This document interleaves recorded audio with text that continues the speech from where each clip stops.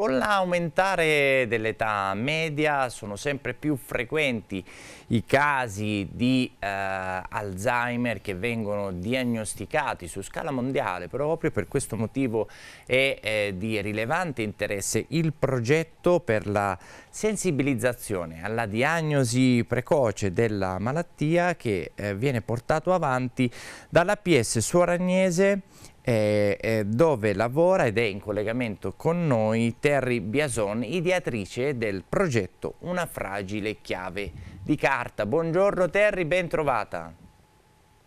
Buongiorno a voi e buongiorno e buon anno a tutti i vostri ascoltatori. Un buon anno va da parte nostra anche a tutti coloro che non vediamo ma che tuo tramite possiamo raggiungere con grande affetto. Come nasce? Certo, certamente. Abbiamo, abbiamo un cortometraggio che eh, sintetizza un po' appunto gli sforzi che state facendo per favorire la diagnosi precoce dell'Alzheimer. Ecco Terry, come nasce questo progetto? La nostra casa, come abbiamo detto anche nell'altro collegamento, è un po' famosa per fare questi progetti un po' strani per, diciamo, per una casa di riposo. Però noi volevamo portare il nostro contributo per riuscire a diciamo mm, eh, risollevare un po' questi malati perché l'importanza di questa malattia è proprio la diagnosi precoce. Molto bene, allora noi andremo a vedere eh, con te, con tutti quanti i nostri amici che ci seguono da casa, il cortometraggio che dura alcuni minuti e poi ti ritroveremo per commentarlo insieme. Certo.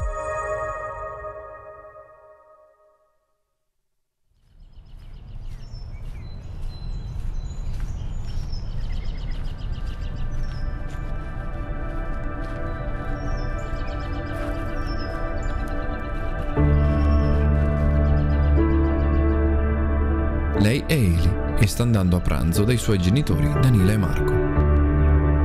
Marco, il protagonista della nostra storia, è un uomo di 55 anni con una vita apparentemente normale.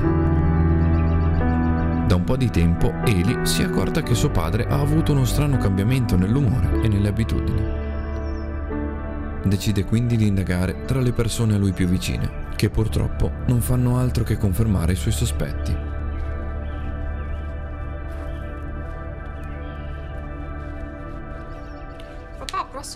Ti va se andiamo alla fiera delle zucche, dato che ti piacciono?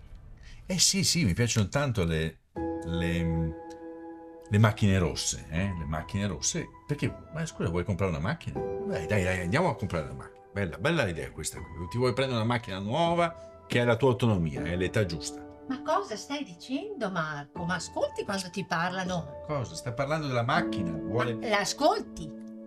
Io ho la testa che che mi rimbomba, che sento tutto, tutto, tutto un riverbero dentro. Però, però, però le zucche sono buone, le zucche vanno cucinate con le ricette della nonna. Voi invece mi fate solo confusione, siete, siete le nemiche della casa, ecco cosa siete. Adesso ho trovato la parola che mi, che mi era andata via. E me ne va. Ma alle 5 si stava già preparando per andare a dormire. Non è normale? Ma amore, dai, te l'ho detto, è stanco. Stai tranquilla, vedrai che poi tutto passa. Io comunque domani vado in palestra e vado in ufficio a chiedere agli amici se hanno notato qualcosa di strano. Non preoccuparti, dai. Vedrai che va tutto bene. Buongiorno. Buongiorno, ciao. Ciao, scusate, vi rubo ciao. pochi minuti.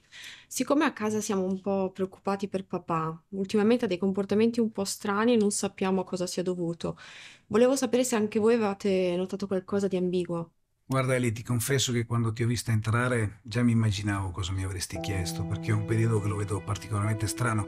Non vorrei sembrare impiccione, ma volevo anche farmi sentire, chiamarvi, perché non solo ho visto strano, ma per darti un'idea, Continua a chiedermi la sua password per entrare nel computer, password che si è sempre annotato diligentemente perché lui è un ragazzo molto preciso, annotava tutto.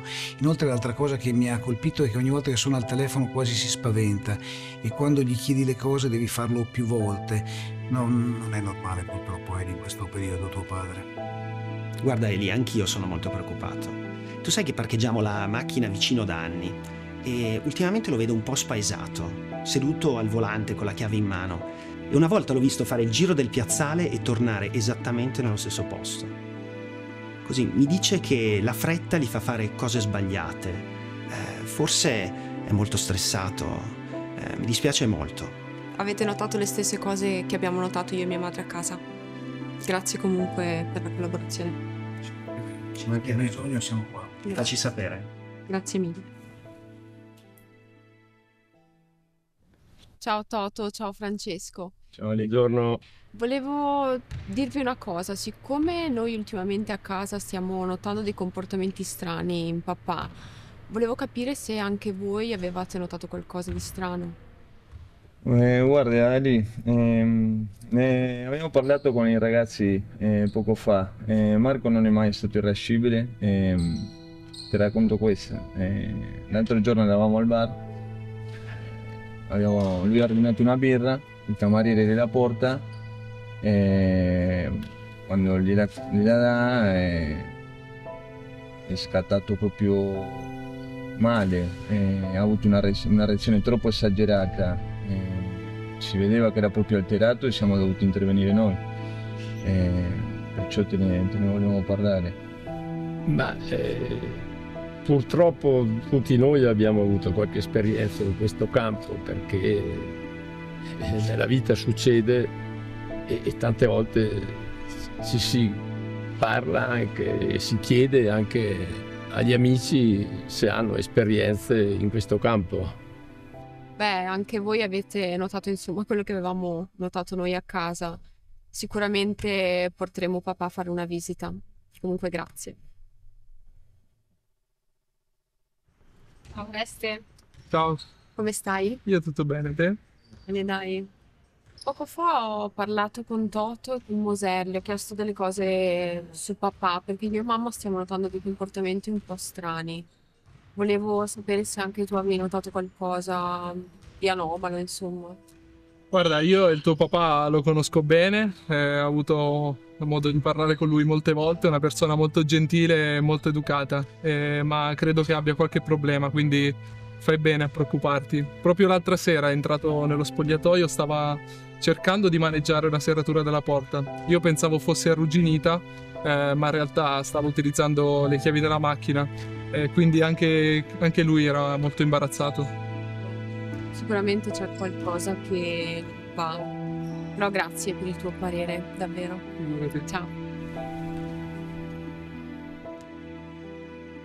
Buongiorno carissimo signor Marco. Allora abbiamo fatto qualche controllo, abbiamo visto che effettivamente c'è da parte sua qualche piccola difficoltà, ma sono difficoltà che possiamo superare tutti insieme, ovviamente con l'aiuto anche della moglie, della figlia.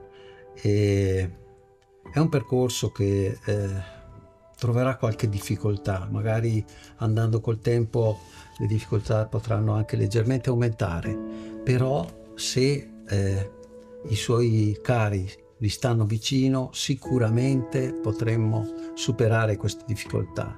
L'importante è oggi avere una diagnosi precoce, cioè fatta in tempo utile che ci consenta di intervenire con i pochi farmaci che ci sono e sull'altro fronte con eh, le attività sociali, con la stimolazione cognitiva, eccetera, che sono legate alla sua attività quotidiana. Cioè non, non- non occorre che faccia grandi eh, cose particolari. Basta che lei continui a mantenersi una vita socialmente ricca, quindi non si isoli, non si chiuda in se stesso, non si deprima se di fronte a qualche piccola difficoltà. Lei ha attorno due persone che eh, la amano e che quindi la potranno sicuramente aiutare.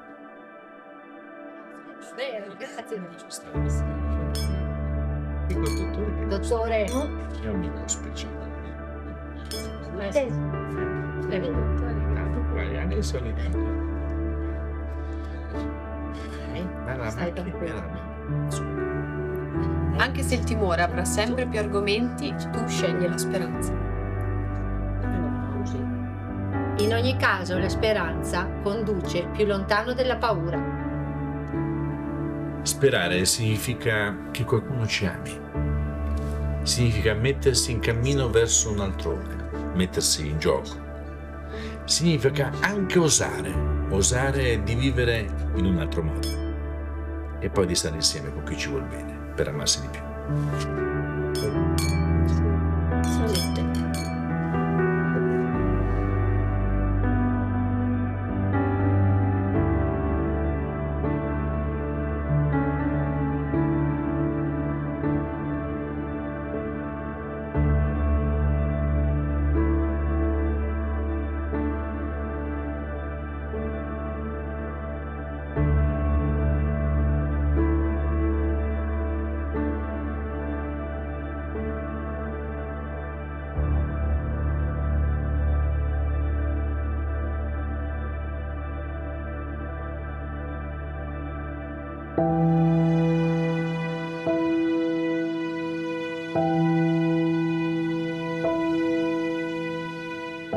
È sempre straordinariamente importante che le grandi cause diventino anche arte, come in un cortometraggio, però una produzione pensate a costo zero, una produzione in cui avete visto anche grandi atleti come Francesco Moser, abbiamo visto Terry Biason, che voglio tornare a salutare e ringraziare. Anche Terry, i grandi giornalisti.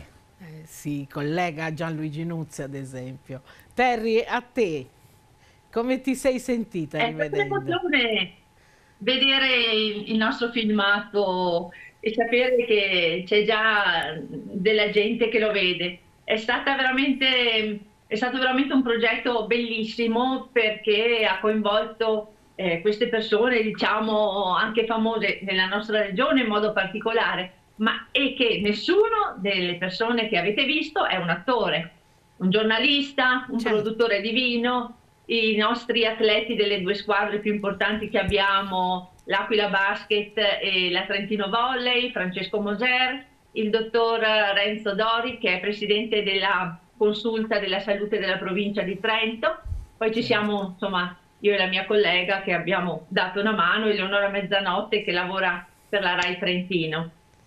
Molto bello, davvero molto bello e poi ecco nella sua eh, semplicità ci restituisce tutta l'immediatezza di quanto sia importante eh, prenderci cura delle persone che amiamo senza aspettare ecco, eh, che certe, certi, certi, problemi ecco, esplodano nella loro interezza, agire per tempo, ecco la eh, diagnosi precoce, il fatto di eh, muoversi quando ancora ecco, si può, eh, come si diceva nel video, pur con i pochi medicinali ancora oggi a disposizione, comunque contrastare questa patologia.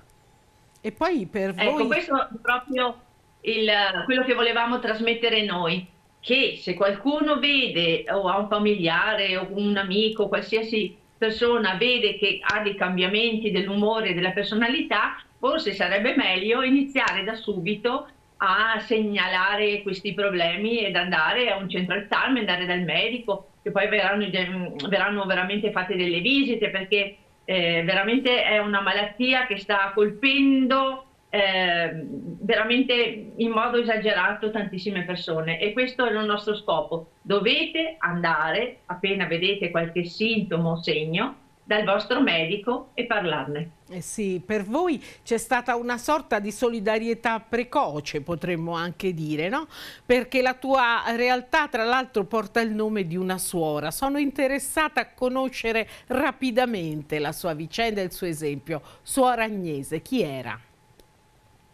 Suor Agnese era la, una, una suora del, de, di Maria Bambina, dell'Ordine di Maria Bambina, che insieme ad altre suore sono venuti in questo piccolo paese e hanno aperto questa, la, la casa di riposo che era posizionata in un'altra parte. Questa suora era una donna meravigliosa, a detta di chi l'ha conosciuta perché è tantissimi anni che è morta, e che ha donato veramente la sua vita per aiutare gli anziani e pensiamo che all'epoca non c'erano tutte le cose che ci sono adesso, le agevolazioni, la nostra è un'azienda pubblica di servizi alla persona. All'epoca avevano poco o niente. Inoltre lei in questa casa di riposo accoglieva anche i bambini che rimanevano orfani e tutte le persone che avevano bisogno. E per il paese veramente è stata una persona importante. Grazie Terry, la vostra realtà è uno Veramente. splendido esempio per tutti quanti noi, siamo veramente felici di poter eh, di, di, aver avuto la possibilità di condividere con il nostro pubblico il cortometraggio del progetto Una fragile chiave di carta, per cui vi auguriamo un buon anno e un ottimo lavoro.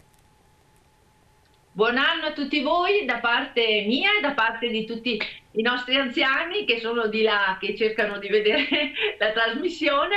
E un abbraccio a tutti quanti voi. Grazie, grazie mille. Di nuovo buona giornata e buon anno. Felice solidarietà e felici diagnosi precoci perché è importante. Bene, è giunto il momento di fare una nuova pausa, ma ritorniamo subito insieme. Restate con noi.